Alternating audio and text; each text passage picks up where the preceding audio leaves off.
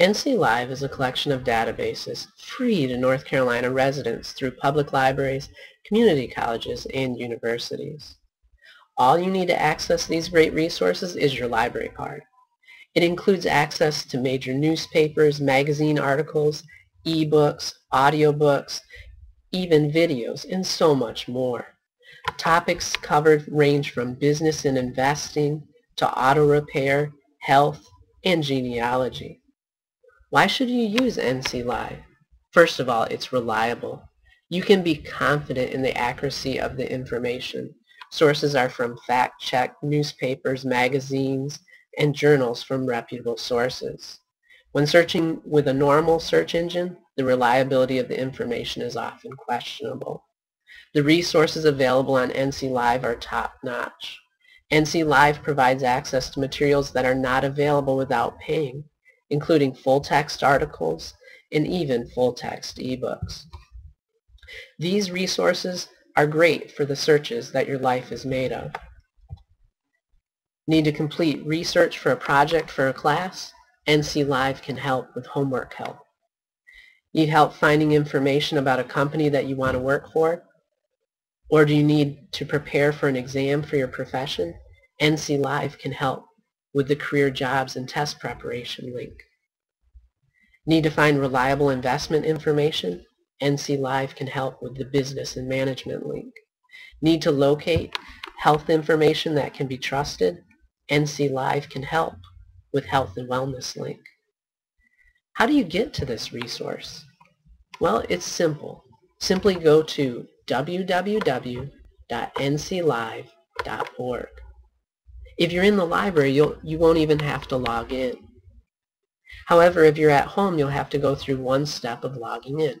I'll show you how. In the upper right-hand corner, there's a Log In button. If you click on this, it'll prompt you to enter your library. Well, I live in Wayne County using the Wayne County Public Library, so I'll find that library through the list.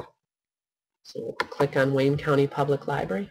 If you click Remember this library next time, you won't need to do this step again. So click Next, and now enter your library card number. And click Login. You should be logged in and have full access. You can tell because at the top of the screen in the upper right-hand corner, it'll say what your library is. Now you can start your search. I'm going to enter a search. Uh, in the search box is found in the upper left-hand corner.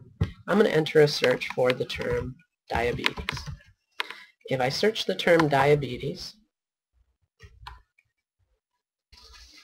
I'll get a rather large number of results.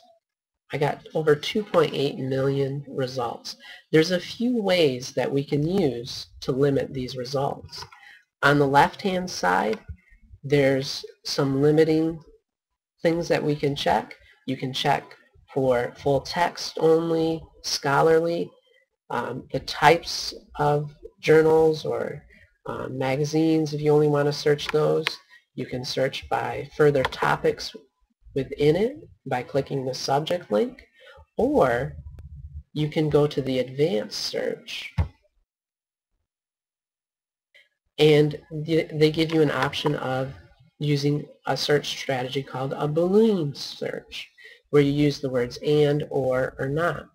So maybe I want to know about a diet that would be helpful for diabetes. I could enter that in the and section, and it would limit my searches.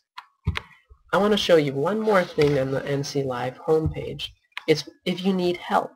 If you need help, you can click on this chat box for NC Knows, and a librarian will be available anytime you need them. oftentimes, there'll also be a box that pops up, kind of like what you just see right here, and you can chat now anytime you need help. If you're in a library, please see the reference staff, and they would be more than happy to help you with any of your questions on NC Live. Thank you, and I hope to hear that you're using NC Live and loving it.